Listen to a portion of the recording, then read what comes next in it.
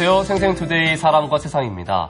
아, 요즘 날씨가 따뜻해지면서요, 어, 건강 관리를 위해서 야외에서 운동하는 분들이 많이 늘고 있는 것 같습니다. 그렇습니다. 저도 겨울에는요, 실내에서 운동을 주로 많이 했는데요. 이제 날씨가 따뜻해지고 나니까 네. 뭐 자전거를 탄다거나 조깅을 하는 것처럼 이렇게 밖에서 하는 운동이 하고 싶어지더라고요. 그렇죠. 네. 아무래도 실내에서 반복적인 운동보다는 좀 더 활동적인 운동을 할 수가 있어서 많은 네. 분들이 야외 운동을 하시는 것 같은데요. 그런데 이 야외 운동은 자칫 잘못하면 오히려 건강을 해칠 수도 있죠. 그렇습니다. 일반적으로요, 운동을 하기에 가장 적합한 기온이 13도에서 23도 사이라고 합니다. 네. 지금처럼 이렇게 일교차가 큰 환절기에는요, 너무 이른 아침 시간에 운동은 하지 마시고요, 어, 날씨가 풀렸거나 또는 우리 몸의 기온이 어, 외부의 기온에 적응할 수 있는 그런 네. 시간대에 하는 게 좋다고 합니다. 그렇습니다. 말씀하신 기온이 요즘 낮 기온하고 좀 비슷한데요. 네. 그러다 보니까 오전 11시에서 오후 3시 정도까지가 오. 운동하기 딱 좋은 시간대라고 합니다. 그렇군요. 참고를 하시고 운동하면은 건강 관리 더 잘할 수 있겠죠. 네, 그래서 오늘요, 생생투데이 사람과 세상에서는요, 눈이 오나, 비가 오나, 바람이 부나, 네. 늘 한결같이 운동하시는 분을 소개해드리겠습니다. 오늘은요, 박효원 씨와 함께 하겠습니다. 어서 오세요, 어서 효원 씨. 오세요. 네, 안녕하세요. 네, 안녕하세요. 네, 한 가지 운동을 꾸준히 이렇게 10년 넘게 해오기란 쉬운 일은 아닙니다. 그런데 오늘 소개해드릴 분은요, 이 15년 동안 운동을 생활화해 이 건강 관리를 꾸준히 해오고 있다고 하는데요. 운동이 생활이자 활력소라는 오늘의 주인공, 지금 화면으로 함께 만나보시죠. 보기만 해도 단단할 것 같은 우람한 팔 근육과 다리 근육. 올해 63세 류혜종 씨입니다. 나이가 어울리지 않는 몸매의 비결은 바로 마라톤.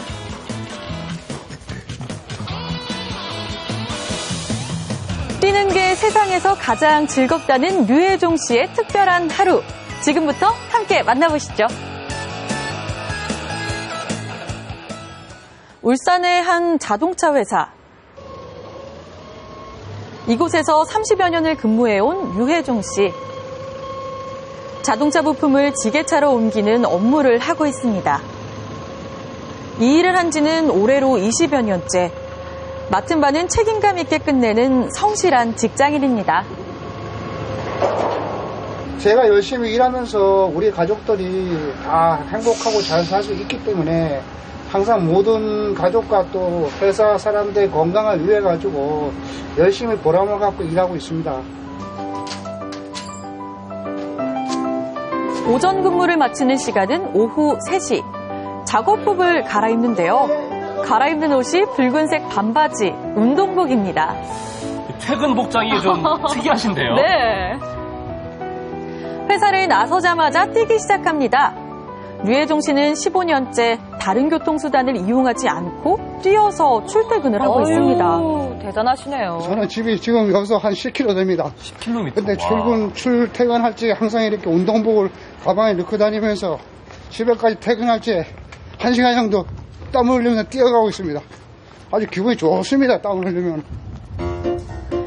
복잡한 도로를 벗어나 류혜종 씨가 향한 곳은 태화강을 따라 조성된 산책로. 차량이 없어서 안전할 뿐만 아니라 시시각각 달라지는 멋진 풍경을 볼 수 있기 때문입니다.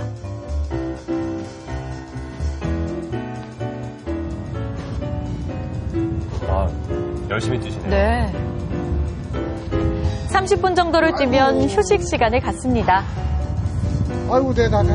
힘들죠. 그럼요. 숨이 턱에 차오를 때까지 뛰는 류혜종 씨. 이렇게 힘든 퇴근 방법을 왜 선택한 걸까요? 아, 우선 내 건강이 좋고 기름값 절감되고 버스값 절감되고 일거양득 아닙니까? 도랑, 도랑 쳐서 까지 잡고 숨을 고른 뒤 류혜종 씨는 다시 뛰기 시작합니다. 몸의 상태에 따라 매일 속도는 달라지지만 집에 도착할 때까지 뛰고 또 뜁니다.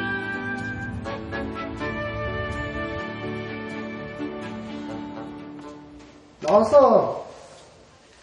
빨리 왔네. 땀도 많이 흘리고. 아유, 이제 대단해. 어, 맛있는 거 해놔야지. 마, 맛있는 거 해놔봤자 술에, 술안 주지?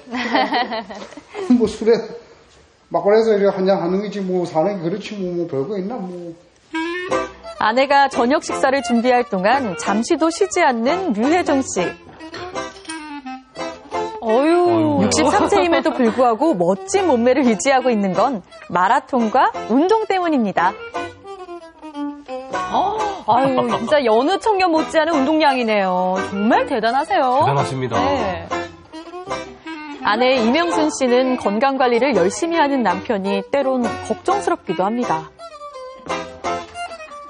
아유, 이렇게 많이 나와서 다 뭐 할 건데. 이렇게 살이, 어, 알이 막 빵빵하네. 아이고, 대충 좀 이제 하시고, 이제 좀 이제는 살 좀 더 쪘으면 좋겠어, 이제는. 빼는 게 아니라. 너무 살이 빠지니까 줄임이 너무 많잖아. 나름대로 이제 몸 관리는 잘 하는 것 같아요. 근데 좀 지나치게 하죠. 어떨 때는 막 걸어갔으면 싶은데 뛰어가고, 또 비가 와서 차를 타고 가라 했더니 또 새벽같이 4시, 4시대에 일어나서 가고 하는 거 보면은. 뭐 좀 어떻게 보면 인내심은 높이 사야 될 것 같아요. 드디어 저녁 식사 준비가 끝났습니다. 매일 뛰는 남편을 위해 아내는 먹을 것에 특별히 신경을 쓰고 있는데요. 전복도 좀 넣고 낙지도 좀 넣고 완전 보양식입니다. 류혜종 씨는 평소에도 건강 관리를 위해 채소류와 닭고기를 많이 섭취하는데요. 아내의 철저한 식단 관리도 류혜종 씨의 건강 유지 비결 중 하나입니다. 아유, 국물 시원한 거참 맛있게 끓였다. 뛰니까 체력도 있어야 되겠고 그러니까 항상 이제 고기를 일주일에 한 두세 번 항상 먹고 야채도 많이 먹습니다. 다른 사람들에 비해서 신경을 많이 쓰죠.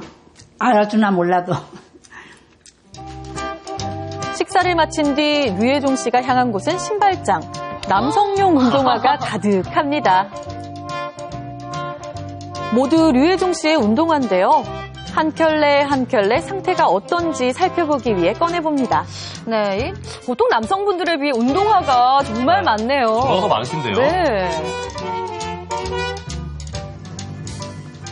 차 기름도 저작되고 버스비 저작은 되지만 또 신발값도 만만찮게 들어가. 아, 그렇겠네요. 하루 왕복 20km씩 운동화를 신고 뛰다 보니 운동화의 바닥 부분이 성할 날이 없습니다. 아유.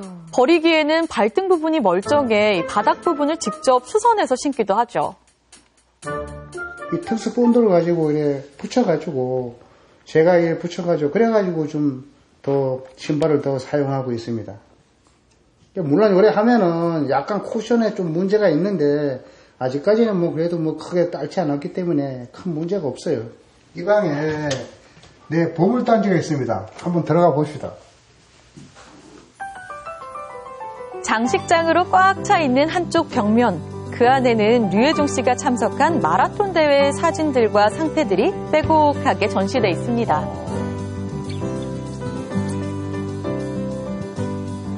하나하나가 다 기억에 남는 대회였지만 그 중에서도 특별한 추억이 담긴 대회가 있는데요. 가장 감명 깊은 게 이게 제1회 부산 서머비치 울트라 마라톤 100km 뛴 겁니다. 이게 부산 요트 경기장에서 울산 진앙해수장 왕복하는데 내가 우리 외손주 나중에 크면은 할아버지는 내가 너한테 완주했다는 걸 보여줘야 된다 하고 정말 이를 악물고 뛰었습니다. 대단하시네요. 대단하시네요, 진짜. 류혜종 씨가 마라톤을 시작한 건 15년 전 건강 관리를 위해서였습니다. 이 사진을 보시는 것 같이 제가 이, 이 뚱뚱했던 시절이 93kg 나갔습니다. 엄청 힘들었어요. 근데 살을 이렇게 빼고 나니까 참 이렇게 몸이 거뜬하고 어디 모든 사람 앞에 서는 그 자신감이 생깁니다. 그래서 그래서 저는 이게 마라톤을 앞으로도 계속 내가 능력 있는 동안까지는 하려고 하- 생각을 하고 있습니다, 지금. 여보, 운동을 하자, 그만. 아이고 혼자 아이고. 가시오 혼자. 그래도 해넘어가기 전에 한번 좀 뛰고 오자. 류혜종 씨는 아내에게도 마라톤의 즐거움을 알려주고 싶습니다. 아이고 자. 자, 자. 같이 가자. 이거 내가 치울게. 아내와 함께 마라톤을 하고 싶은 이유는 무엇일까요? 자꾸 그 약해지니까 이제 좀 운동 운동 보강시켜 가지고 좀 저 완주를 잘 할 수 있게끔 그래 하려고 그래 이제 운동을 시키는 겁니다 지금. 결국 운동할 준비를 마치고 함께 집을 나서는 부부. 집 인근의 운동장을 찾았습니다. 다치지 않게 몸풀기 운동부터 시작하는데요. 오래간만에 뛰려니 아내는 걱정이 앞섭니다. 이 나이에 마라톤 한다는 거 그 자체가 좀 걱정스럽죠. 화이팅! 드디어 류혜종 씨 부부가 뛰기 시작합니다. 하나, 하나, 둘, 하나, 하나, 둘, 하나, 둘. 마라톤 초보인 아내의 속도에 맞춰 함께 뛰는 류혜종 씨. 목표도 비교적 짧게 5km로 잡았습니다. 아내 이명순 씨에겐 마라톤 전문가인 남편이 큰 도움이 되겠죠?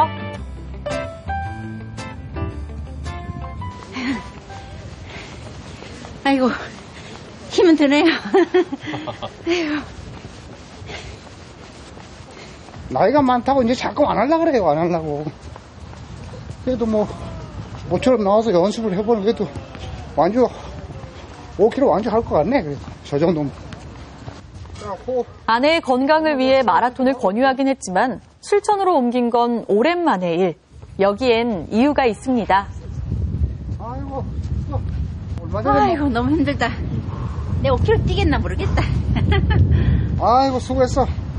아이고. 이 정도만 뛰면 뭐, 5km는 내가 충분하게 쉽다. 함께 마라톤 대회에 참석하기로 했기 때문입니다. 그 숨고르기 정도로 그냥 살살 뛰어가면서 이 사람 몸을 풀게 한 다음에 그래야만 이 심폐 기능이 숨이 안 차지. 처음서부터 무작정 막 뛰면 숨이 차가지고 나중에 중간에서 걸어가게 돼요.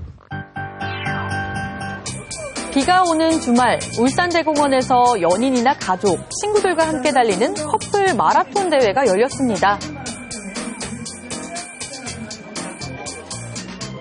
류혜종 씨 부부도 이 대회에 참석했는데요. 어, 네. 뛰기 전 심정은 어떠신가요? 한 7, 8년은 안 뛰었지만서도 5km 정도는 충분히 완주를 해가지고 또 화이팅을 하리라 믿고 있습니다. 빨리 가거나 늦게 가거나 상관없이 만족해가지고 그냥 같이 갔다 오는 게 목표를 하고 하는 거죠. 드디어 마라톤 대회가 시작됐습니다. 총 5천여 명의 사람들이 참석한 이 대회는 5km, 10km 코스로 나뉘어 진행됐습니다. 류혜종 씨 부부는 5km 종목에 출전했는데요.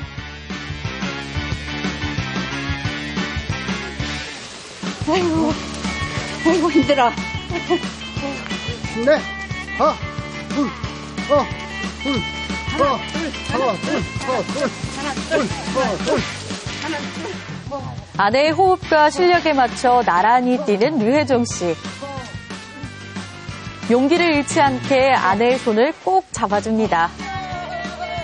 비가 오는 악조건 속에도 완주의 성공.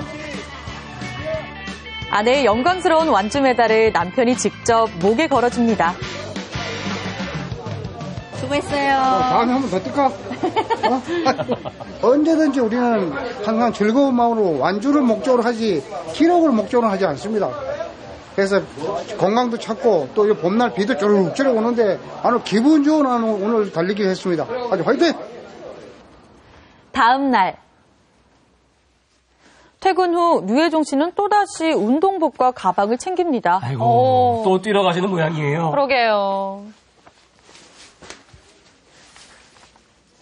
아이고 또 뛰러 나가야죠. 집에 있으면 뭐합니까? 집에 있어 살 뿐이 안 찌는데 또 나가가지고 또 한번 또 땀 좀 흘리고 그래 또 들어와야지만 또이 속이 시원하고 또 기분이 좋으니까 좀 뛰러 나갑니다. 지금.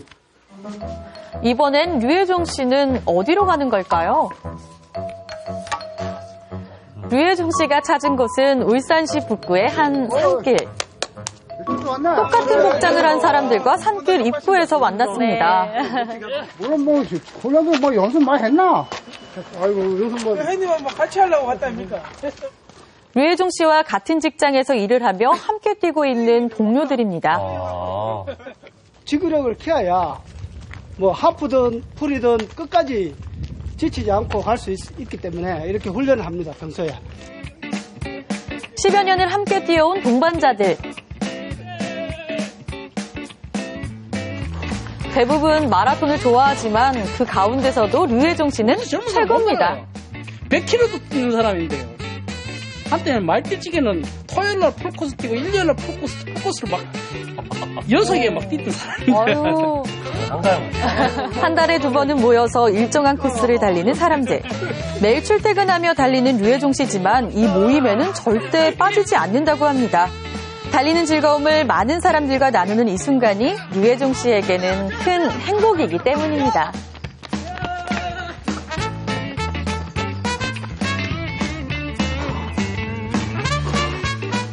어, 동료들하고 같이 뛰면은 옆에서 화이팅도 해주고 또 같이 발 맞추어서 소리도 지르며 뛰기 때문에 아주 저기 저 지치지도 않고 상당히 좋습니다. 건강 관리를 위해 시작한 마라톤은 이제 류혜종 씨에겐 삶의 즐거움이 되었는데요. 앞으로도 많은 사람들과 함께하는 행복한 마라톤 계속되길 기대해 봅니다. 네, 365일 날마다 뛰는 류혜종 씨. 두 분은 어떻게 보셨나요? 네, 일단 전 나이에 한번 놀랐고요. 또 그러니까요. 나이에 못지않게 좋은 몸에 다시 한번 놀랐습니다. 성군 씨보다 아, 좋으시다는데. 네, 좀 부끄럽네요. 네? 운동 열심히 해야겠어요. 네네. 아니요, 저는 또 곁에 같은 취미를 가진 분들이 함께하고 계시기 때문에 류혜종 씨가 계속해서 운동을 하고 계신 게 아닌가라는 그렇습니다. 생각이 듭니다. 보고 있으니까요, 저도 막 뛰고 싶어지는데 같이 뛸 사람이 없네요. 아쉽네요. 네, 류혜종 씨도 이 단마회라는 모임 때문에 마라톤을 시작하게 됐고 네. 또 15년 동안 꾸준히 뛸 수 있었는데요. 어떤 종목이든 처음 시작하는 게 어려울 때는 이 함께하는 사람이 있다면 요령도 배울 수 있고 또 큰 힘이 되는 것 같습니다. 류혜종 씨처럼 즐겁게 또 꾸준히 운동을 하고 싶으시다면 지금 동호회나 지인들을 통해서 이 쉬운 단계부터 차근차근 시작해 나가는 건 어떨까요? 네, 이 마라톤은 뭐 빨리 가는 것보다는 고른 페이스로 끝까지 가는 게 더 중요하잖아요. 그럼요. 어떤 운동이든 이런 호흡으로 한다면은 건강 관리는 문제 없을 것 같습니다. 맞습니다. 이제 곧 5월입니다. 가볍게라도 운동하시면서요. 건강한 봄 나시기 바라겠습니다. 생생투데이 사람과 세상 저희는 다음 시간에 다시 찾아뵙겠습니다. 함께해 주신 여러분 고맙습니다. 고맙습니다.